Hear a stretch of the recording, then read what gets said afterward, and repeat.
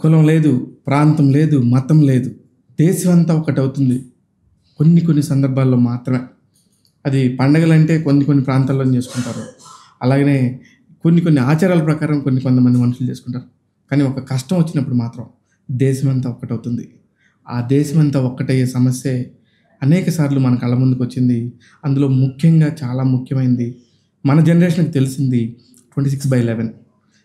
Twenty six by eleven అనే దాని గురించి ఎవరెన్ని రకాల సినిమాలు తీసినా ఎవరెంత బాధపడ్డా ఎవరెంత ఫీల్ అయినా కూడా ఆ క్షణం తలుచుకోగానే భారతీయులందరూ ఒక్కటైపోతారు. అయ్యో మనకు జరిగిన కష్టం ఇది మనకు జరిగిన నష్టం ఇది అని చెప్పేసి అందరూ ముక్త కంఠంతో అలా నింటుంటారు అలాంటి సందర్భంలో మీ మీకు సంబంధించి మీ జనరేషన్కి సంబంధించి మీరు ఎలా ఫీల్ అయ్యారు అలాని తెలిసి తెలియగానే?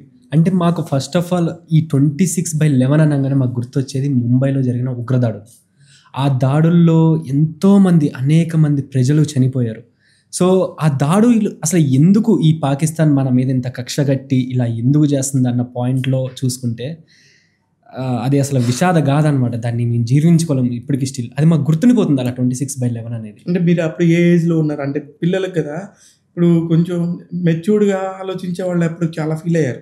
కానీ మీలాంటి ఒక కొత్త జనరేషన్ పిల్లలు అలాంటి సంఘటన వచ్చినప్పుడు ఎలా ఫీల్ అవుతారు? ఎలా రియాక్ట్ అవ్వాలనుకుంటారు? ఆ సిచ్యువేషన్లో ఉంటే జనరల్గా నేను ఈ సిచ్యువేషన్ అంటే ట్వంటీ సిక్స్ బై లెవెన్ అనేది ఎప్పుడు ఎప్పుడు జరిగింది? గత పదహారు ఏళ్ళ క్రితం జరిగింది ఇది. Hmm. అప్పుడు నేను నాలుగో తరగతి ఐదో తరగతి చదువుతున్నా. ఆ టైంలో మాకు అయ్యో అనిపించింది. ఆ చనిపోయిన ఎవరైతే చనిపోయిన పోలీసులు కానీ లేకపోతే అమరవీరులు. వీళ్ళంతా వాళ్ళ ప్లేస్లో మేము ఎందుకు లేమా అనిపిస్తుంది.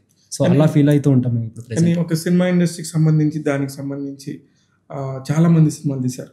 ముఖ్యంగా రామ్ గోపాల్ వర్మ గారు సిక్స్ బై లెవెన్ అనే ఒక సినిమా కానీ అలాగే మొన్న మొన్న వచ్చిన మేజర్ సినిమాలో కూడా అడివిశేష్ గారు ఎక్స్ట్రాడినరీ పర్ఫామ్ చేశారు. ఇలాంటి సినిమాలన్నీ చూసినప్పుడు ఓకే భారతీయత అంతా కూడా నిజమే కదా అందరం కలిసికట్టుగా ఉంటేనే కదా ప్రాంతాలు వర్గాలు అసలు ఏం లేకుండా ఇట్లాంటి సంఘటనలు దగ్గరే ఉంటాయి. మొత్తం దేశం అంతా కూడా వాళ్ళందరినీ అసహించుకునే పరిస్థితి తీసుకొచ్చింది. అలాంటి సందర్భాలు వచ్చినప్పుడల్లా కూడా మన భారతీయులందరూ ఒకటంటూ ఈ రోజున జరిగిన సంఘటనని ఒకసారి ఆ రోజు జరిగిన ఎంతోమంది చనిపోయారు. వాళ్ళందరిలో తొమ్మిది మందిని పోలీసులు హతమార్చగా ఒక్కడు మాత్రం మిగిలాడు కసబ్ అని రెండు వేల పన్నెండులో అతన్ని కూడా ఉరిదీయటంతో. ఆ కథకి అందరితో సుగంధం పలికిన ఇప్పటికీ ఎంతో మంది ఆ క్షణాన్ని తెలుసుకుంటే ఎప్పుడైతే భారతదేశానికి ఢిల్లీ ఒక వాణిజ్య కేంద్రంగా ఉందో అక్కడ ఉన్న ఒక తాజ్మహల్ హోటల్ ఎంతో ప్రెస్టీజియస్. ఆ తాజ్మహల్ హోటల్ జరిగిన దారుణాలు కానీ అలాగే రైల్వే స్టేషన్లో కానీ ఎన్ని రకాలుగా చిత్రహింసలు చేశారో ఇంకా మనకు ఆ సినిమా ఇండస్ట్రీలకు సంబంధించి కానీ సినిమా కథల ద్వారా అనేకం తెలుస్తున్నాయి. అవి చూసినప్పుడు ఎంత ఫీల్ అవుతాం కదా? వాట్?